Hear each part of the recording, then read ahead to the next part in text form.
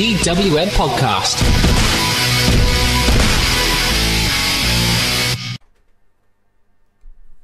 NXT with a segment that I call the Cedric. Uh, Mike, um, do you want to know why I called this the Cedric? I'm I'm totally unaware of why you call it the Cedric, but I'd love to know. Um, hey, do you have an idea of why I would call?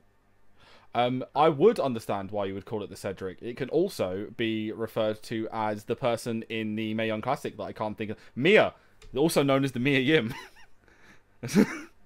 Well, we'll talk about Mia Yim later. yes. so, Segway. uh, Cedric Alexander, uh, segue, segue. Um, right. Uh, is, of course, about the former Rockstar Spud, and we'll talk about that pretty amazing promo that he made from the very start. Um, Mike, what did you what did you think of uh, just he had to say? Um, I think it was very much what you were expecting him to say in this moment, but I was I was a little bit surprised that he didn't really he he didn't show anything as if like he was potentially losing his job. Well, kind of had, but you know he didn't make it. He made it all about the title and not about keeping his job, which I thought was a little bit weird, and obviously all about cookies in catering. Yeah. Like, um, I don't know. Like, he did um, suggest that there was nothing to lose, and once again, that you know, WWE haven't done this in this storyline at all. But uh, you know, they added a little bit of element of um, a little bit of reality that has leaked out into the outside world that they added back into the promo when he referred to into the camera, didn't he? Yeah, it was. Yeah, yeah, definitely. It's yeah. This whole thing just leaves. I know we're going to get to kind of the, the the matter at hand, but the whole thing just leaves a bit of a bad taste in your mouth.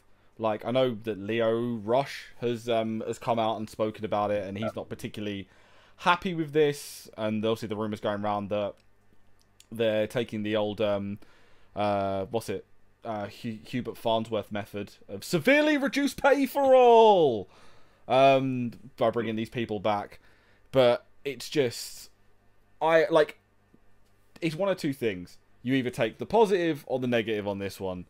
And either which is the positive on this he got released and the guy has managed to earn his job back um, by never giving up and, and never surrendering an american dream and all that stuff.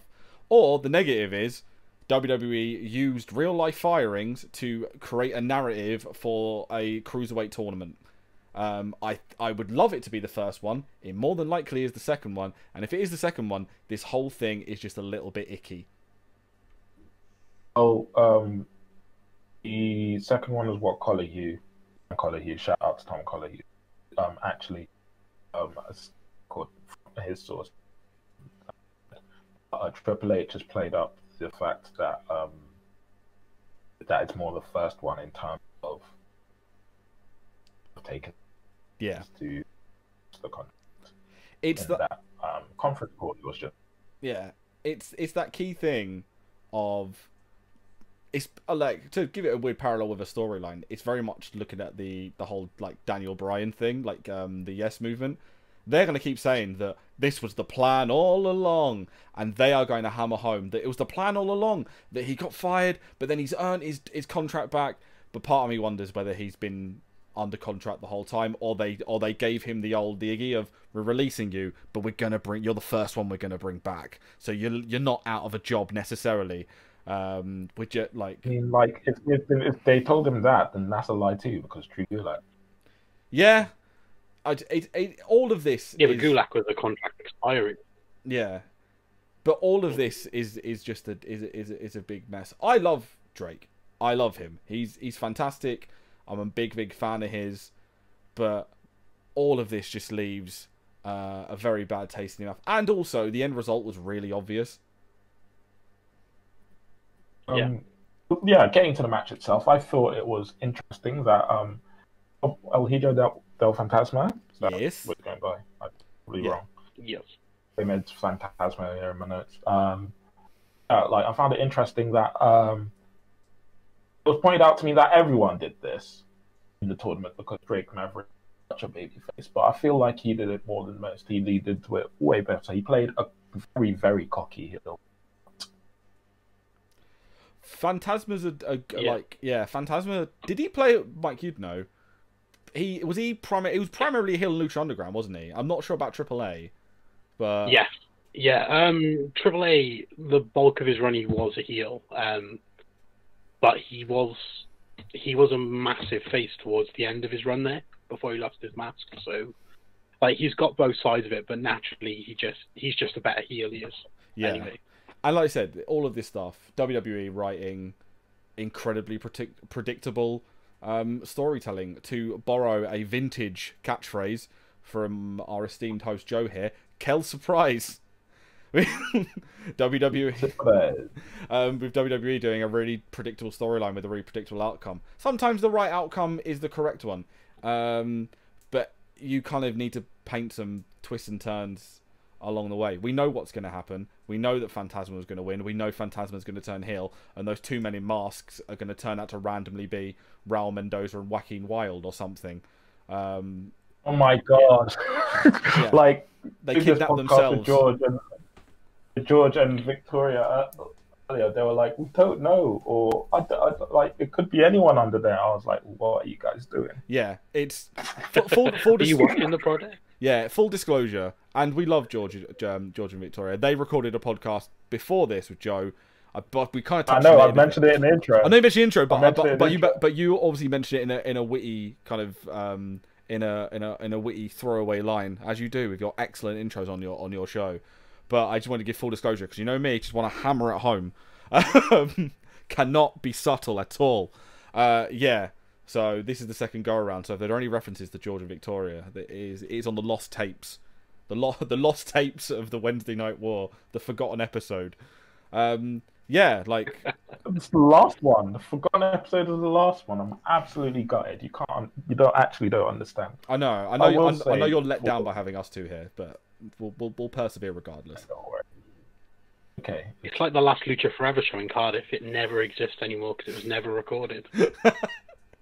Solid Lucha Forever reference. Anyway, yeah, it's this is all just really predictable, and it doesn't really give like the only positive out of it is just how good Drake Maverick is, but we knew that already.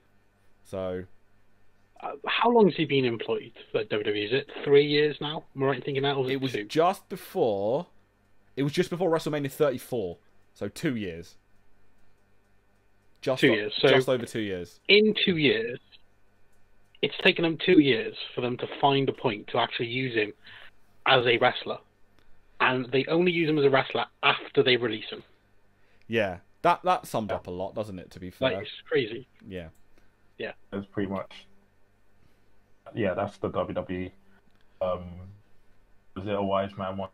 Uh, billion, uh, a millionaire who should be a billionaire. Yeah, um, and he and he continues to make money to spite himself.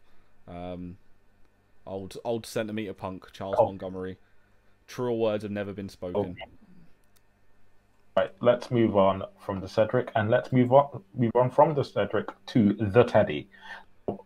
Like, why would I have called this next segment the Teddy? Holla holla Um, holla. I was thinking it was going to be a reference to sort of like moonsaults and bad cats. decisions.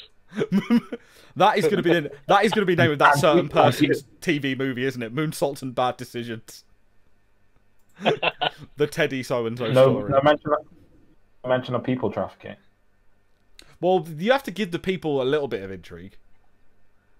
And I'm going to add there, allegedly.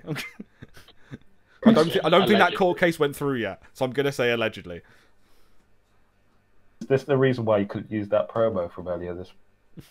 anyway, um, Oh yes, Smiley's practically begged me about 14 times for you to send her that promo. She wants to see it. I know that's something that's on off pod that should be shouldn't be on pod, but yeah, please send her that promo Yeah. about um a certain person. She'll remain nameless. Anyway, let's talk about tag oh, teams. oh, the worst person in. Hey, uh, we open this week of with this week's episode of NXT with Mia Yim versus Candice LeRae, which is like honestly, that's be a great match. Yeah. Like, like, Quality. quality, quality, quality, fun for all the family. And um, however, uh, yeah, how do you think the match went until the end, Matthew? Or the Um, big can- Uh, yeah, I am. I am a. I am a big fan of of Candice. I'm not the biggest fan of Candice that we all know. Uh, shout out to Lawson, who is like the number one Candice LeRae fan on the planet. Um, Oh, that's true. uh, first of all, I want to give um, a lot of love to Candice LeRae's facial expressions. She has really lent into being a heel incredibly well. Um, she's going into more of. She's not going for that vicious heel thing. She's really lent in uh, for a comparison. Um, and she doesn't need any more credit because she gives herself credit all the time. She's really lent into that OG Stephanie McMahon kind of spoilt brat vernacular Yeah. alongside alongside Johnny The Gargano. sort of. Yeah. It's it's great and I'm a big fan. And these guys were really, really good. And then obviously it all went to um all went to hell with all of them do um everyone getting Uh, involved. like, uh, the entire mid card of the NXT women's division just descending. Like, I, you know what? And credit to um, NXT being the only uh, uh, brand with an actual definable card.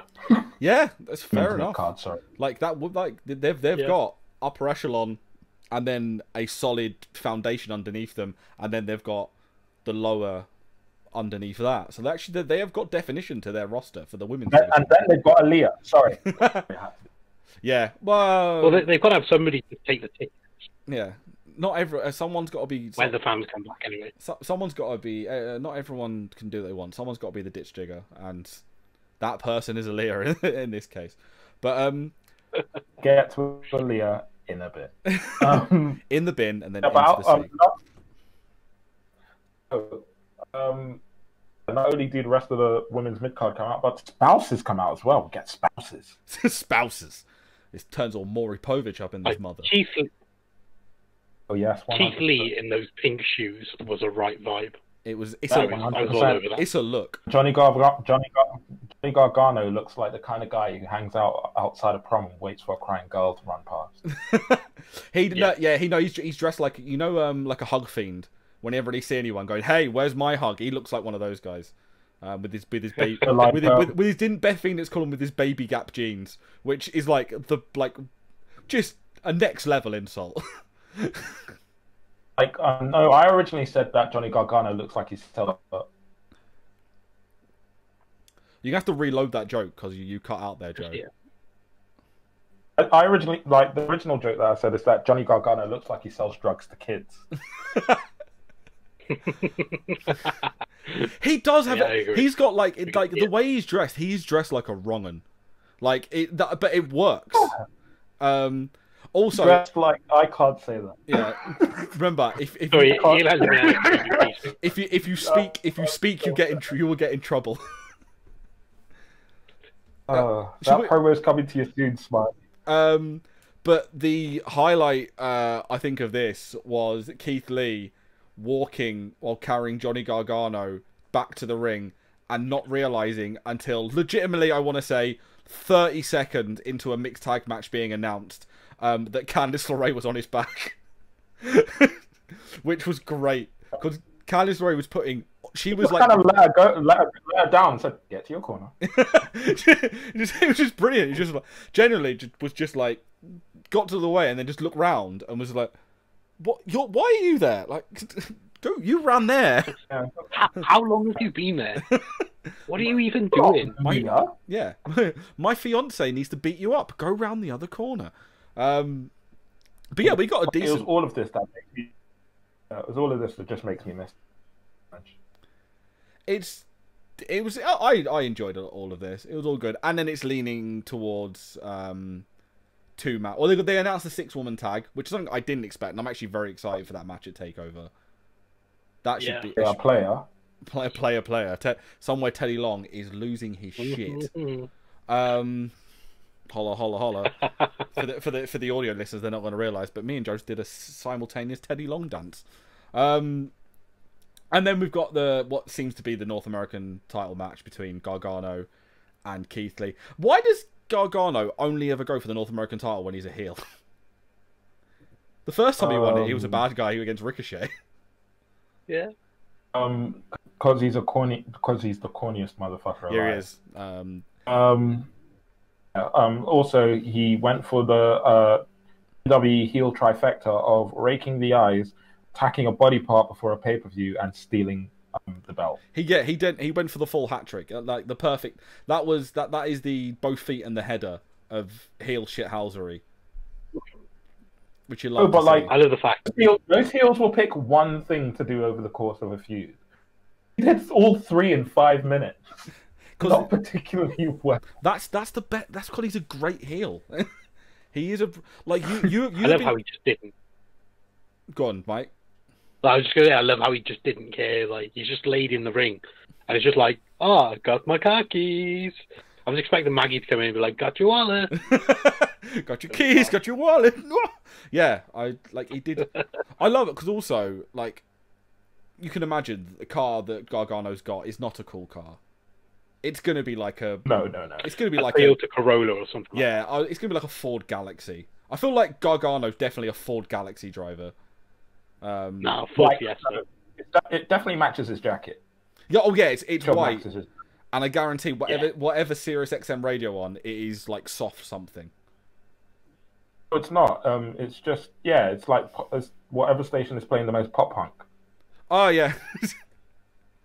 I'll just say NPR, but actually Yeah, no. there's something wrong with pop punk. Oh, he's probably he's probably um probably bumping the first two albums of Paramore. Yeah, before they got crap. That's that, that's, that's a fair point. And yeah, there's nothing wrong with pop punk. It's just some people that choose to uh, listen to it. Gargano's bringing the um, bringing the scene down with his with his Oh. car key stabbing shenanigans. Well, I don't know. Like he's he dresses the part. Let's move on. Um, there's other stuff going on here um, in NXT. A lot. Um, obviously, it's building up to the pay per view. Um, on Sunday, Sunday. yeah. It's on Sunday. It's on Sunday. I, I Sunday. like. I missed the days when Takeover was on Saturday. Yeah, I, Those- f- I those were forgot. nice. La- I forgot last week and got my hopes up when it was on a Saturday. Um, but it's on a Sunday. It's fine. We'll we'll we'll, we'll live. I'm sure. Um, uh, yeah, we're not gonna we're not gonna talk much about title matches because we'll probably do this for Sunday. Monday, Yes. Monday we'll do this. Yes, well, we we'll discuss this over the weekend. I imagine there'll be some Fire Pro related nonsense over this weekend before we watch the show and Yeah. and discuss it. So Exactly. So I'll leave it for that. Um, however, what I will cover is that Breezing, Bre- ah, words. Zango are not only back, but they are number one contenders after beating Disputed Era and the Brown Brawlers way. can we just discuss the general aesthetic of Imperium facing Breezango? It's incredible, but I feel like there was ever a time for Oney Lorcan to discover only how to tweet in all caps, but in bold as well, it would be now, because the story has been the last month are going to be Imperium. Yeah, and then they've gone, oh look, Fandango's back. You two, you're going over because it'll be really funny to see. But then again, like it's probably actually going to be a low key decent match between Imperium and Breezango. Oh, of course it will. because what they're doing at the moment is they're doing the whole um, they have the most ridiculous shenanigan entrances of all time but when they get in the ring they're all business we're not getting really any comedy matches between breeze and like breeze and fandango they're, they're very much all action in the ring so i i just really love the entrance it just genuinely amused me of, It was beautiful. of I mean, I had to, I had to check that they weren't feds anymore before I could give them cosign. they've not yeah they've not been feds for a while they've been But like, especially now, I just had to. yeah they've, they Early retirement. Yeah, they they they they, le- they left the force because of um, injustice, and they've been construction workers. They've gone through the full gambit of the village people, and now they and now they've moved moved on. So I, when were they in the Navy? I I'm fairly certain they've done the navy. They've probably done the navy. They definitely they definitely did the Levy. Yeah. I Uh, can see it now. I can see I can see Fandango in the white flares and the stripy top. It's stressful. it's it's a, it's a powerful image. But Um, not the powers you want. in related news to this tag match, uh, Dexter Lumis can draw now. Yeah, In what way do you mean that? Do you that, mean that that? was interesting. Do you mean that in the artistic sense or the wrestling No, we sense? can't. No, Um, the artistic sense for sure.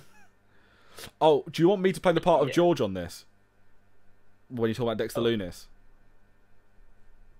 Where I just rip the shit out of him for like. I love, I love him so much. TNA, Gunner, even though it's not okay anymore. Um, there you go. I just hi George. That that that's you when you that's what you sound like when you talk about Dexter Lumis. So um, Uh, yeah. My, um, he was he was doing that and he was doing that earlier, and in the middle of it, I just asked him what the safe word would be, and he said Roderick Strong. Actually, no, that would make him go harder. Yeah. it'd be Christy Hemme. He'd get flashbacks. like a flashback. Um, This is like a dream. You're right, by Um, the way, Joe, because again, I know this is for video only, but I'll explain it. Halfway through us talking, the light has just gone out in your in, in the room you're recording it. Ah, don't worry about it. It's fine. And I feel like you're cutting a promo after you've been kidnapped by ninjas like Samoa Joe in TNA. oh God, don't remind me. Don't worry, it'll be forgotten next week. Uh, fair enough. Okay, and uh, we're gonna end NXT by uh, talking about my favorite, um, one of my favorite things. Uh, that's right, Tony Nese and Robert Stone's night was brought to you by the letter L. nice. Why why is Jack Gallagher now with Tony? Like Jack Gallagher just just is going around every person in 205 Live. Like I I generally think he's going he like he goes home at night, looks at a photo of, of Oney Lorcan and Danny Birch and goes, One day I'll find my cruiserweight tag team partner. And just he's fight, literally going to anyone's like, Can you please team with me? I want to find love the same way Oney and Danny Birch have. He's doing like the NXT equivalent of Tinder. Yeah, this is it. He's going through everyone possible and hoping he gets a match. Tinder 05 Live. And he looked at the he looked at the Zoe trade and he said, "I want that for me."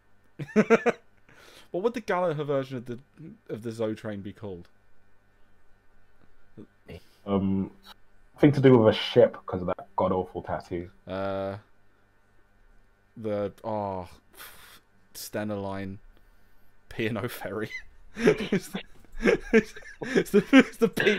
From the QE3. the, um, there we go. Yeah, the QE three is the name of Jack Gallagher's stable. Oh jeez. Um, do we want to talk about Rob? Just how many L's he took in the space of about fifteen minutes? I did love um, Tom Phillips' line about Robert Stone, where when he came out, he said he looked like Ari Gold after a bender. Did pop me massively for the entourage reference. Very true though. Um, yeah, like I like that. Robert Stone, Robert Stone got sacked by Chelsea Green. Um, came out like you said, looking like Ari Gold after a bender. Um, I just thought like he looked that he looked like a dishevelled um, Izzy brother, but you know what? Let's let's move on. He- Um, He also he, he did uh, literally he he's on the verge of he's on the verge of cutting that Ian Beale promo. It's true because like he, there was only one person who could save him from this rut, and who was that, Mike? Who was it? You just don't. Mike watch it. genuinely doesn't know. It's fine. Oh, fine wow. because It that, yeah because that's the also the correct answer because they're, they're I don't know and Aliyah are one and the same thing. Yeah, but he tried to save her and didn't really do a good job. Yeah, So, he cost like, are they? Does that make them perfect for each other? he, he gave he gave her the Yeah. I don't don't call me we'll call you speech and then lost Chelsea Green and came in and then shagged a ting to um try and get her having to lose to Santana Garrett. So now like So he's trying to settle with his side hoe. Still has jobber music. yeah, it's it's just like who's he going to end up with? Who's lower than Aliyah on the on the NXT food chain? Is there is there anyone? That's the key question. There's got to be somebody who's signed in the last like two weeks. Kayden. Kayden Carter. That's not fair. She's good. She does TikToks. Any of the any one of the random women in the crowd, we'll go with. is that going to be next week? It's Robert Stone just going through the crowd begging someone to sign a deal with him. Yeah, Uh, he should have gone into tag teams. Out to Malcolm. Uh,